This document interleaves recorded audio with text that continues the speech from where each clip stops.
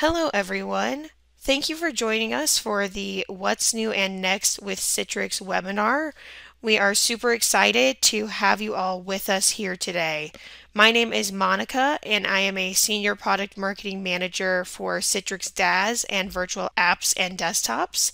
I am joined today by my colleagues John, who is a fellow product marketer on DaaS and Virtual Apps and Desktops, Christian will be talking to us today about analytics and director. And then lastly, Rainer will be discussing secure private access and enterprise browser. We have a ton of great stuff to cover today, so let's get into it. Before we do, I do have an important legal disclaimer.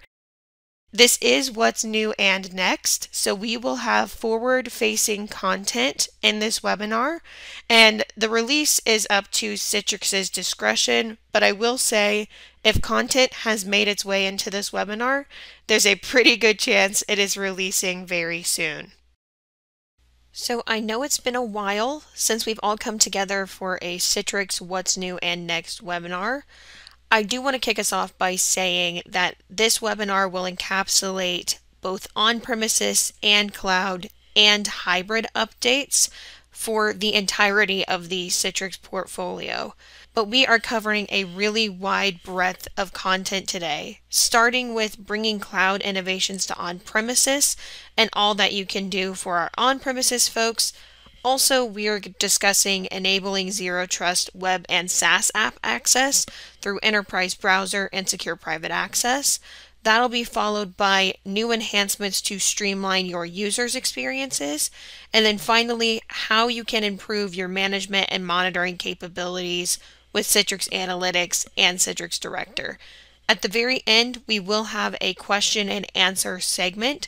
So please, while we're speaking today, put your questions into chat. We will answer them as we can and hopefully get to them at the end. If we don't answer them all at the end, then I am also making a blog to come out in the coming weeks that does get to your questions and gives them answers. So with that, let's jump right into it. Kicking us off, I wanted to discuss how we are bringing cloud innovations to on-premises as a company. Earlier this year, we introduced the Destination Hybrid Initiative. This is really about meeting you, our customers, where you are in your cloud journey and truly enabling you to be on premises in the cloud or a hybrid of both as the destination. With that, we introduced the Citrix Universal Subscription.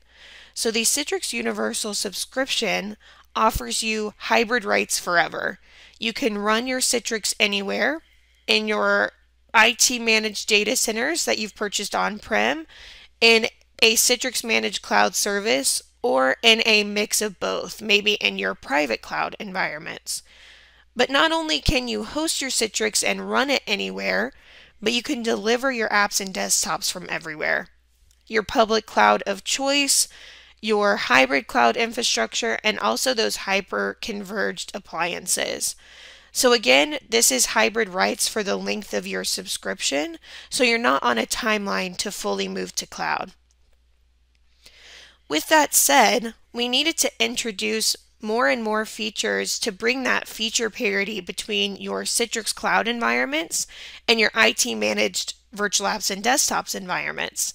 That's why we're really excited at the beginning of this year to have introduced Web Studio for on-premises CVAD. This Studio console brings a streamlined management experience to your apps and desktops. So this is delivered through REST APIs to automate the management and provisioning of virtual apps and desktops ac across your cloud and on-premises resources. This is truly a great step in enhancing your hybrid cloud experience. If you have your apps and desktops in your on premises data center and want to manage them but have this streamlined interface, Web Studio can do that for you within your IT managed CVAD. So you may be asking yourself, what does this look like? You can see here that I am in Studio on premises and a core component here is Web Studio. So you can install that web management console directly on-prem and it will connect to this interface. So this looks and acts just like the Studio console in Citrix Cloud. You can add policies, add admins, add hosting connections, and you can automate that migration to Citrix DaaS if you so choose. So just really improving that administrative experience. We have also introduced Autoscale for IT Managed CVAD. So for those of you who aren't familiar, Autoscale introduces load-based scaling and schedule-based scaling to help you save on compute costs with optimizations and automation. So you can do that power management. You can also have dynamic provisioning to create and delete machines based on admin controls. And you can do vertical load balancing. But you might be asking, okay, I know what autoscale is in the cloud, but why does it matter on-prem? So before using autoscale and introducing it for your CVAD environments, admins had to provision resources for peak user capacity 24-7. So your environments had to be ready to take that burst or peak amount of users all of the time, which can incur a high amount of cost when you have all of your machines running all of the time. This approach does ensure great user experience, but you incur those costs. Or if you don't have your machines running and there is a burst of your users that need access to their virtual resources, the user experience could suffer. But bringing autoscale to on premises helps manage those on prem costs while also allowing for a great user experience. We do this, I want to call out specifically load-based scaling, which really sets Citrix Autoscale apart from the rest. And load-based scaling, you can put a buffer on based on capacity. So instead of having all of your workloads running all of the time, you can say, please scale based on load and you can set a buffer as you can see on the left so that there's a few more workloads running than what your users are leveraging so they always have a great experience when they access their virtual resources. And then on the bottom right showcases just how much you can save instead of on that top bar sitting at full capacity all the time with the orange line. The actual capacity needed is the blue line on the bottom. So with autoscale, hitting that green line and having a buffer, you can save up to 73% in this scenario. So that's pretty powerful for both cloud and on-premises. Lastly, we are adding an elevated administrative experience to WEM on premises as well. This is coming very, very soon to Tech Preview. We are doing the same with Workspace Environment Management that we did with Web Studio for on premises. It's really about bringing that streamlined experience to your on prem environments. And this WEM console that's in the cloud but can be used on premises optimizes resource utilization optimizes profile management, allows you to assign group policies, gain insights, configure scripted tasks, and more. So this is great news for users leveraging workspace environment management today and maybe want more of that streamlined experience. Overall, the point in bringing all of these innovations to your IT managed environments is to bridge that gap between on premises and the cloud and to truly meet you where you are in your cloud journeys. So, with that, I'm going to pass it over to Rainer. Thanks, Monica. A lot of great stuff on cloud and on prem innovations on CVAD and DaaS. I would love to hear more, but Citrix is more than just publishing apps. It has secure access to all your enterprise applications Zero Trust Network Access, or Never Trust and Always Verify, is the framework that Citrix lives in. Let's look at the latest updates for Web and SaaS app security. Secure remote access to virtual and non-virtual apps is important in a hybrid world. But what if compliance regulations hinder you from using a cloud-based solution? The answer is SP on-prem. SP on-prem and Citrix Enterprise Browser allows you secure direct web access into your data centers without a VPN. Benefit in reducing resource allocations by removing published browsers from your on-prem virtualization platform. SPA on-prem leverages all your existing infrastructure, like Netscaler Gateway and Storefront, so there is no need to buy additional hardware. Everything you need to do is three easy steps. First, publish your applications. Second, define your app security policies. And third, configure your Netscaler Gateway. That's it. Expand your Citrix CVAD deployment with Secure Private Access on-prem today. Get back some resources in your virtualization environment by removing published browsers and allow your employees to access web apps directly from their end device using Citrix Enterprise Browser with enhanced security controls like app protection, watermarking, copy paste restrictions, and more enabled. Now that you know uh, that Citrix Enterprise Browser can enforce different security controls per web app directly on the user's end device, but how is Citrix Enterprise Browser managed? Our global app configuration service allows complete browser management on managed and unmanaged Windows and Mac devices. In the sense of time, I have listed a few possible options. For example, Make Citrix Enterprise Browser your default work browser to access internal links directly without a VPN, or allow deny the use of developer tools, incognito mode, and safe passwords, or allow deny browser extensions, or force a browser extension installation, publish bookmarks to users, and for security reasons, delete browsing data on exit. I encourage you all to test the Citrix Enterprise Browser today and see the advantages of a full managed work browser on managed and unmanaged devices. Application security is one piece when considering a zero trust approach. But it is more important to know which application users are allowed to access. Okay, what if you don't know all the apps? Application discovery monitors and reports the user's accessed applications without the need to change anything on the end user device. Administrators can then easily define new applications and policies and assign them to users or groups. After a short period of time, you can move from a less restricted remote access to a zero trust based access model. Application discovery brings a significant benefit in quickly finding blocked requests and allowing access for users.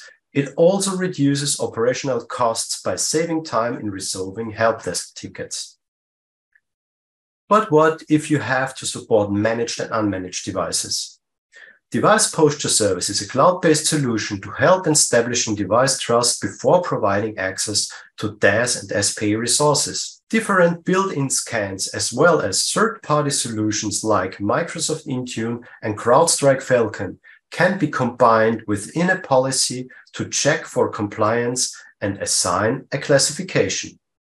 This classification allows for contextual access and enabling security controls if necessary. Device posture service is a security mechanism that cannot be bypassed. I encourage you all to test the device posture service today to enhance your security and limit application access based on device classification. Now over to you, John, to discuss the improvements in end user experience. Thanks, Rainer. Well, there's just some really great security features and improvements. And while security is a top priority for us, the experience we provide our users is also really important. And with this, let me introduce you the new Workspace user interface. I'm really excited today to like dive into this and give you the latest updates and enhancements that we've, we have. Over the last few years, the team has worked tirelessly to provide a clean, fast, modern, and hassle-free user experience. We've continued innovating, improving, and streamlining the management and building integrations that elevate this experience. Today, I have really, some really exciting news to share. We are revamping our cloud-based workspace user interface, transitioning it into an ultra-sleek user portal designed to declutter the interface. All of this is aimed at enhancing utility and usability of the workspace. There are also numerous changes to improve functionality. First, we heard your pain points around first-time use and took steps to address them. We've eliminated the blank landing pages for first-time users. Also, when users launch Citrix Workspace app or access resources from a browser for the first time, they'll be presented with a screen containing a list of relevant apps. These apps can be set by the admin, and users simply press a button to add them as favorites. We've also modernized the overall look and feel of the landing page. Now, the navigation has been moved to the top bar beneath the time-specific reading. On the home page, users will find three main tabs. The Home tab with favorites and recently used apps, the Apps tab with all apps listed alphabetically, and the Desktop tab showcasing all available desktops. We also made the search feature more useful with significant improvements. We've introduced fuzzy search, where the system tries to match search text with available resources. And we're looking forward to adding description search, metadata search, and search based on admin defined tags soon. Next up, we have the Activity Manager. This new feature lets users see all their running apps and desktop sessions in a quick access menu. It really is. It's a simple drop down interface giving users the power to disconnect apps and log off desktop sessions. They can even do it from their mobile devices when they're on the go. And the best part about this workspace user interface is it's available today. So keep an eye out on your Citrix Cloud Console. Another enhancement to Citrix Workspace is the ability to use custom domains. And let me just kind of give you a little background on this. You know, in today's hybrid work environment, it's really important that you simplify and secure resource access for your users. This is a top priority for us. And one way to do this is by providing users with a simple and memorable domain. This is where the custom domain feature comes in. Your organization now can leverage a company branded domain name, promoting branding and trust, and also making access to Citrix Workspace even more user friendly. And there's many advantages to this. First, it enhances discoverability by providing a unique, easy to remember domain to access all your resources. And second, it strengthens your organization's brand, creating a more trusted and cohesive workspace experience. The great thing about this is setting it all up is really easy and straightforward process. Just a few simple steps. And whether you're using Windows, Mac, Linux, iOS, Android, or even accessing through a browser, your users will enjoy a personalized experience with a branded workspace.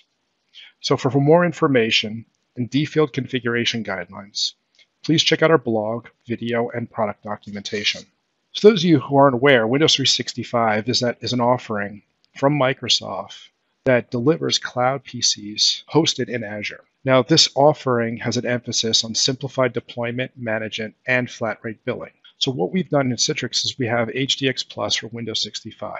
And this builds on top of Windows 365 by adding our HDX protocol, giving you the best user experience, full IDP support for all of your enterprise authentication solutions. We support all of the devices and client OSs that we do today. And we also give you the ability to define access policies, Citrix access policies to be precisely to secure all your intellectual property and provide a really a zero trust access. This is this is important for all of our existing Citrix DaaS standard for Azure, Advanced Plus, Premium, Premium Plus customers. This is an entitlement and you should be able to easily be able to roll in Cloud PC's workloads side by side with all your existing DaaS deployments, whether you're delivering VDI desktops or applications. To get more information on this, I encourage you to go to now.citrix.com, Windows 365, where you could learn about all of these great capabilities.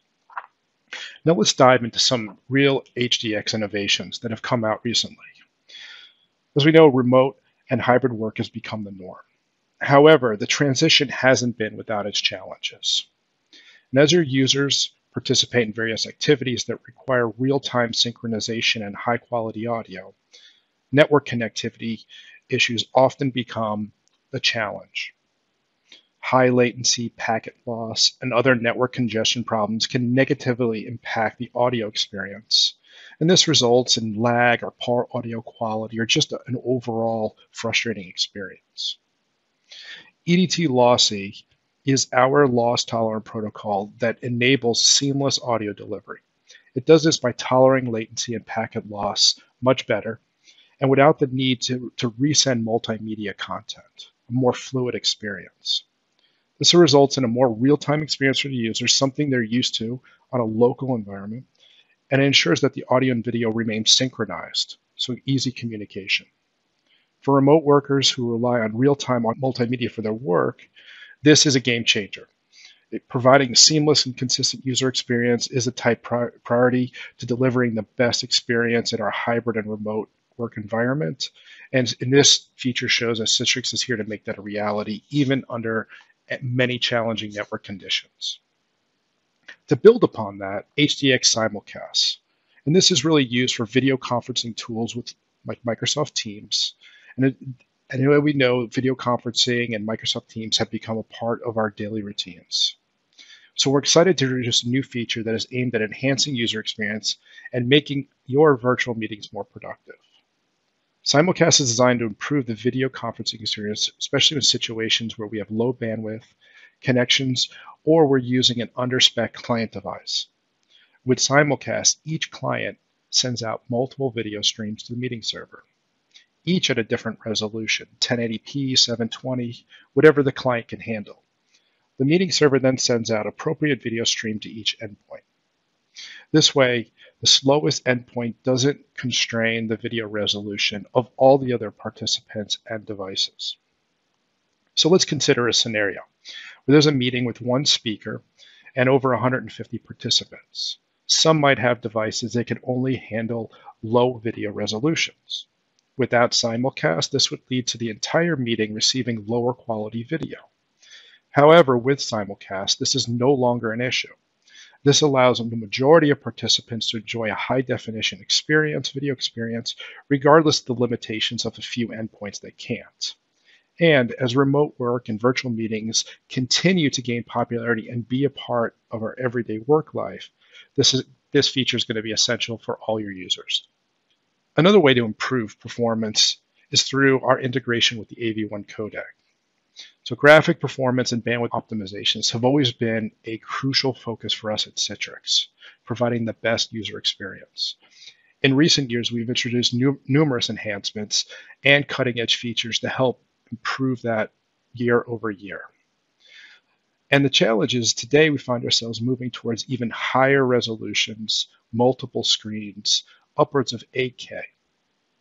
And as part of our commitment to continue to optimize the HDX stack, we knew we had to include the AV1 codec support. Now, AV1 brings significant benefits. It provides a higher quality images at the same bandwidth utilization and delivers higher frame rates on even lower bandwidth compared to the older codecs that were used in the past.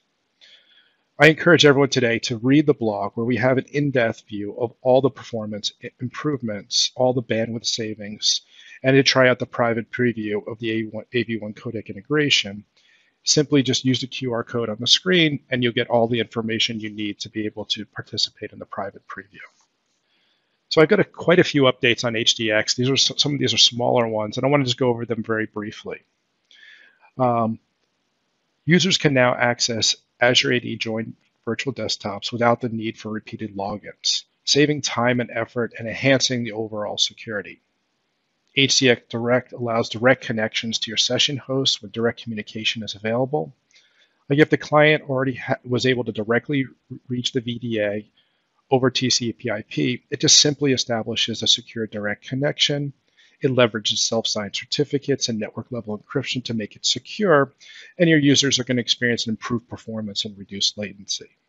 We now support TLS 1.3 for Mac and Linux, you know, several benefits of enhanced security. The TLS is the latest and most secure protocol and will also reduce handshake latency, resulting in faster connections. We also have some news about uh, changes to our audio quality with audio redirection. The increase in medium bandwidth limits is, limits is useful for applications where we're looking for a balance between quality and bandwidth efficiency, while the increase in the high bandwidth limits allows for even higher audio quality when that bandwidth is available. And we have the Microsoft Teams desktop sharing app when protection is, app protection is enabled. We're introducing this ability to be able to share full desktops and monitors. And it's really simple to use. Users click on the screen picker, and now they'll see an additional tab that shares the entire VDA, in addition to individual apps, making collaboration even more efficient. So now it's off to you, Christian, talk about how the admin interface and our analytics can help our, our admins today measure performance and security of our users. Thank you, John. Yes, and with this, we have now arrived in improving management and monitoring section because it's not just all about increasing user experience and making it easier, faster, and better. It's also about monitoring and making sure the reliability of the services is given at any point in time from any location and any device. For this reason, we have had many conversations with customers, service providers, and Citrix technology professionals to understand what the troubleshooting experience needs to be like when a help desk individual is calling a support call, when an individual is looking at a support case. And this was then the reason for us to invent this new, as we call it, session network topology view that can be found in Citrix Director and Citrix Monitor. Currently, we are rolling this out in Citrix DaaS Monitor, and uh, this will be available as part of the user details. So when you review a session, the simplicity of this view is one of the things that is relevant to our customers when we collected feedback. At your fingertips, you have the machine name, the IP address, the connection route, as well as the delivery group and the published applications and desktops. Metrics such as the IC latency, along with the IC round trip time, and other very important metrics to understand where the bottleneck could exist, like network metrics of available bandwidth and uh, network statistics such as Wi-Fi strength are being presented in this screen. So, and this makes it very easy to understand where potential risks like bottlenecks could exist or connectivity problems. At the same time, we also understood that application testing, so application and desktop probing feature, is something that today many customers have not yet started to adopt because the feedback we have collected was that single sign on, multi factor authentication, but also one time tokens are in use together with uh, Storefront and Netscaler gateways on premises. So more than 45% of our customers reported that this was a blocker for them.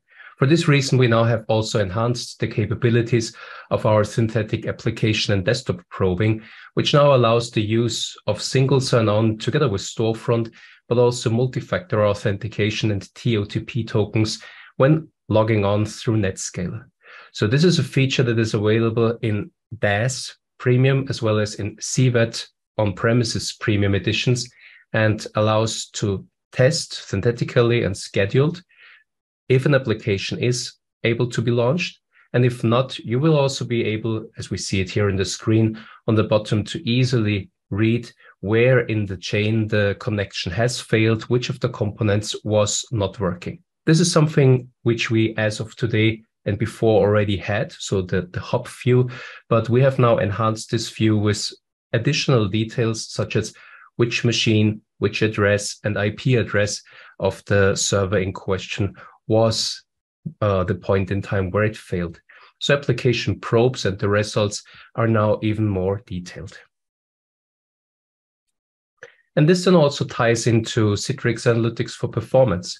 Citrix Analytics for Performance, and that's one of the differences when we look at Director, is not just about real time issues and incidents, it's about understanding where in all of my different delivery groups and different sites, be it on-prem and Citrix DaaS sites, an anomaly has occurred. And when we interviewed customers and also managed service providers and Citrix operation teams, they all agreed that before a support ticket is raised, an anomaly most likely will occur. Session disconnects. If there is a new image that has been rolled out and is now failing to accept sessions. If there is an ISP outage and sessions are failing, or if the Wi-Fi hotspot is no longer working as expected, this all will cause sessions to fail. And this is a deviation from the baseline for the individual environment in question. So we have not just added new baseline insights, such as the anomalous uh, number of session disconnects, we have also at the same time added alerts for all of the existing and new baseline insights. Those alerts allow you to send out emails, but using webhooks also to notify teams using Slack or also Microsoft Teams Messenger, for example. And when it then comes to troubleshooting and looking closer at what the potential root cause could be, we have now added session timeline view. Session timeline view is an end-to-end view of the session in question, end to end. So this means we are providing informations coming from the VDA side of things, but also metrics that are collected from Workspace app. You will be able to see if there have been any other sessions that were not stable, if this single user was reconnecting throughout the session length. But you will also see metrics like, for example, the available bandwidth and the Wi-Fi strengths, and with this, the latency that was added on top. And on bottom of the screenshot, you will also notice you can zoom, you can pan throughout the session timeline. And what we also understood was that Citrix help desk teams are quite unlikely going to have a look at Citrix Analytics for this purpose, why we have added this as part of Director in the session details with a button called Session Timeline View. So also Citrix Help Desk teams using and operating Citrix DaaS monitor as of today can, with a click of a button, see the same screen which is normally included in Citrix Analytics for performance. And when it then comes to improvements, the question is always, did we improve for the better or the worse? How is my environment today compared to two weeks ago when we had an old master image, an old operating system? Did we increase the user experience when moving from on-premises gateway to gateway service? Citrix Analytics for Performance includes executive reporting, so custom reports, which are currently in public preview, where we add more and more templates that allow you to easily visualize those metrics collected and give you insights, for example, week over week comparison of the user experience, week over week comparison of the network latency experienced by users, or other informations like what is the best possible ISP looking at latency I could have in a certain country or city. And sometimes it's just changing and adopting a new ISP in a certain city, and you get half the latency users experience, and with this instantly increase the overall user experience. When we look at analytics for security, we have also added capabilities when we look at session recording events. Since quite a while now, session recording events are being collected and presented inside analytics, and analytics for security allows you then to add on top of these custom risk indicators. So you are in the position as a customer to define what risk means to you. This could be someone trying to connect to any other destination using RDP, copy pasting files to an USB drive, or also to, let's say, create local users. And session recording does not need to record the whole session for this purpose. We just collect the events from specified servers when specific users or specific applications are being launched. And if a risk occurs, we can dynamically start session recording using analytics.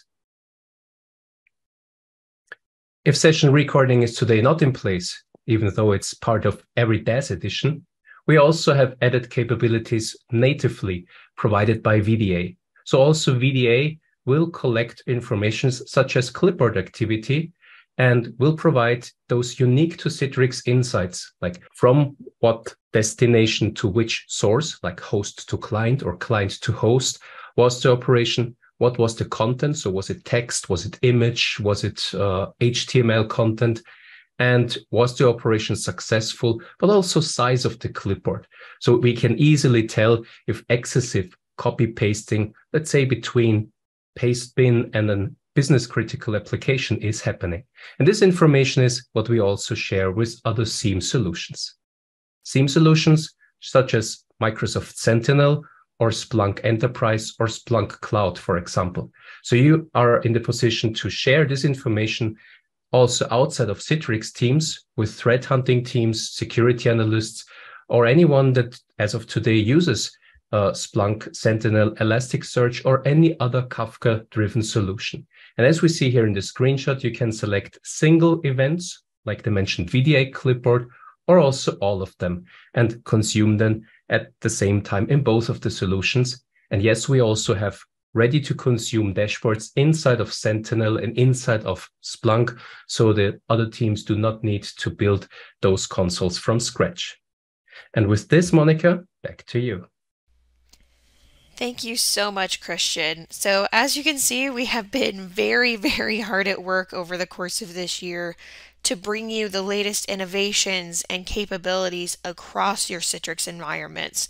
So, we found it really important today to talk about not only virtual apps and desktops, but also secure private access, analytics, and more. But if you want even more information, which I'm sure you do, as this was just a quick teaser to everything that we have been distributing, you can head out to our product roadmap. So this is currently our cloud updates product roadmap at updates.cloud.com. We also have great POC guides, technical content, considerations, and more on Citrix Tech Zone. And then our source of truth continues to be citrix.com slash blogs. Get the latest breaking news and announcements from Citrix at our blog site. I also saw a ton of great questions coming into chat. We are going to have a Q&A blog coming soon.